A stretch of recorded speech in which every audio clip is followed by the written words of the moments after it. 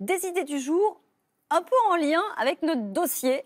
Il fallait, Ah, il fallait Quel trouver lien l'idée. d'ailleurs Quel lien Quel lien Ce sont d'abord ces baskets. Ah, c'est des, pneus réchappés. Oui. Exactement. Ouais, les, on pneus, les, les semelles sont fabriquées en pneus recyclés. Il faut quand Ah, même savoir que en Europe, 6 pneus arrivent en fin de vie chaque seconde. Donc vous imaginez le gâchis que ça peut représenter.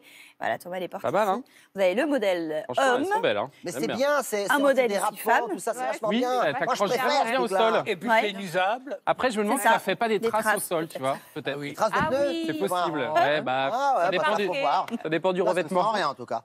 Ça dépend du revêtement. Donc c'est plutôt, regardez, Non, ici bien. vous avez des modèles plutôt, euh, de toute façon c'est unisexe, hein, mais euh, un deuxième modèle plus, très joli, euh, très belle marque, ça s'appelle Hot, c'est le nom de cette marque, Ah, OTH. OTH, oui, je sais pas, je dis. Hot, mais c'est OTH. Ah, bah, Et puis, non, c'est pas ça? Détends-toi un peu, Maya.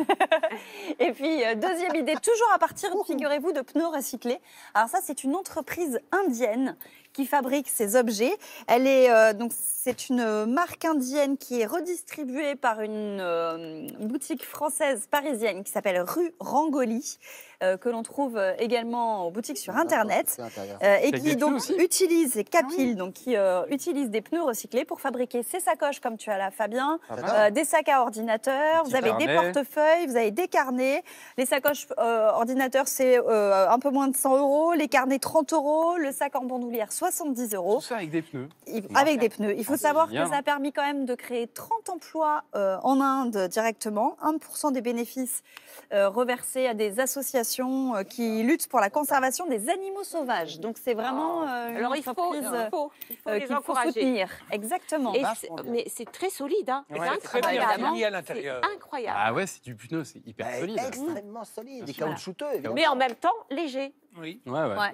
Donc rue. Rangoli, c'est le nom de la marque euh, parisienne euh, qu'on trouve aussi sur Internet et qui donc revend euh, ces objets de cette entreprise indienne. Donc bravo pour ces initiatives et effectivement, euh, quand on sait qu'un milliard et demi de pneus sont produits euh, dans le monde chaque année, on imagine le potentiel que ça peut représenter une fois qu'ils arrivent en